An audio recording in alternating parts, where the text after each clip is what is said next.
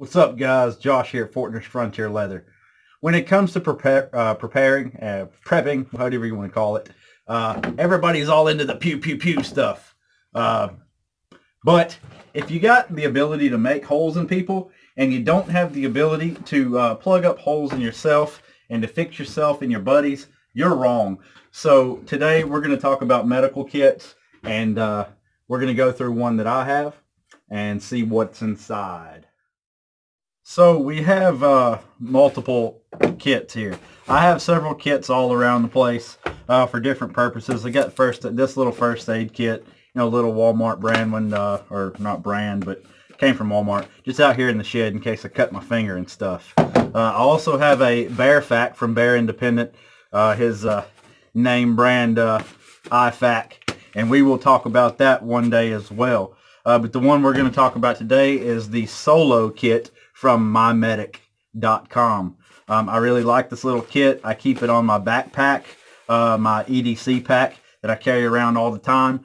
And uh, I want to go through it today and show you what's inside.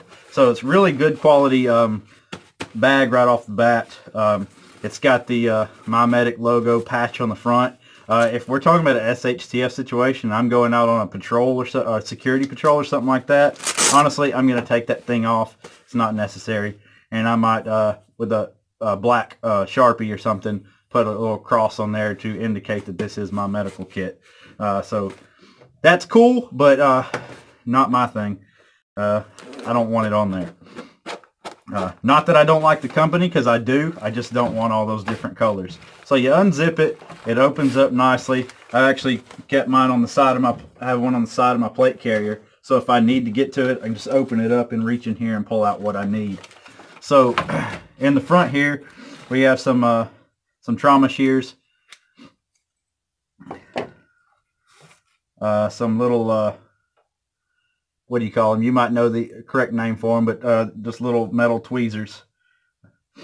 Something in here that I thought was kind of odd, but uh, I guess it you know could be uh, useful if you're trapped or something and you need some help. But it's got a little survival whistle and it's extremely freaking loud. I did not blow in it that hard just then because it'd probably blow my speakers out on my, or my mic out on my phone. Uh, so in the back pouch here, we have a chest seal, uh, good for patching up holes if you got a sucking chest wound. Um, some QuikClot, great to have, uh, stopping all that bleeding. Uh, let's see what else we got in here a tourniquet, a RATS tourniquet. Now, I, what I will say with this, get it out of this pack because when you need a tourniquet, you need it right then. Uh, you don't want to have to be opening crap up. Uh, keep it open and uh, so you can get to it quickly. And the other, I think that's all in this pouch. In this side, we have some gloves, some super skin. It's like a like a bandage um, in here, we have sodium chloride. Uh, I guess like a, like a saline. Uh, you can flush stuff out. Uh, some more bandages, band-aids, and, and things like that in this in this little baggie. Sting relief for insect bites and insect stings. Uh, some hand wipes. Kills 99.99% of germs. Rich with aloe vera.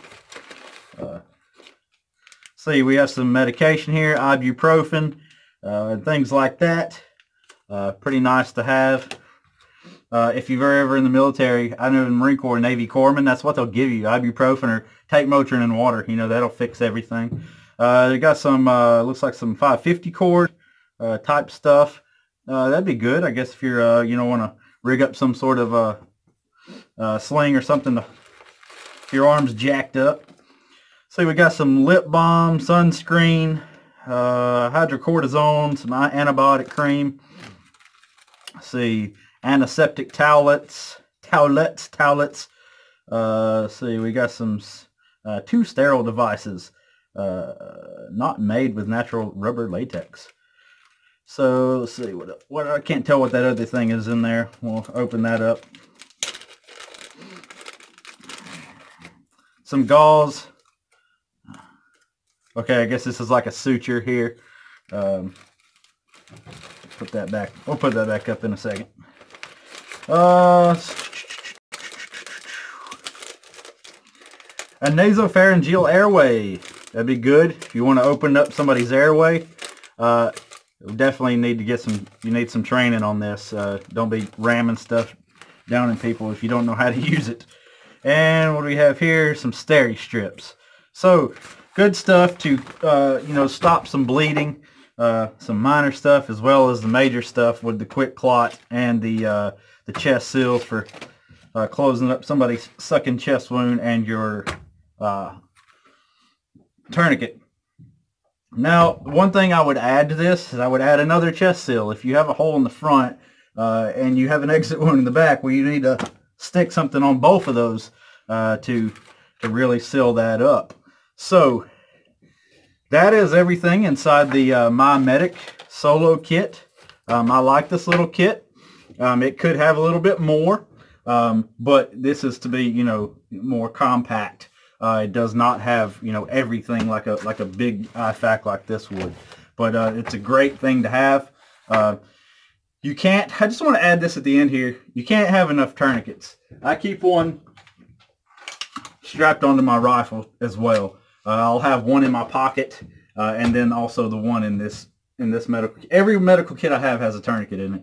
Uh, when you need a tourniquet, you need it quick, so you can just rip this baby off of here and go. But uh, that My Medic kit does come with one. Um, so it's a good kit. I like it. I would just add another chest seal, and they would be good to go. Uh, which you can buy another chest seal from mymedic.com. Uh, you can also buy other medications to add to it. At this point in time, I also have a uh, the one that I carry that's on my pack also has one of their um, cold and or their flu uh, med packs, um, which comes with you know everything you might need to to get you through for a day or so um, if you got flu and cold symptoms. So good pack, I would recommend it. Um, 70, somewhere between 70 and 100 dollars. I can't remember exactly how much. It's somewhere right in there. Uh, medical kits are, are pretty high, but um, what's your life worth?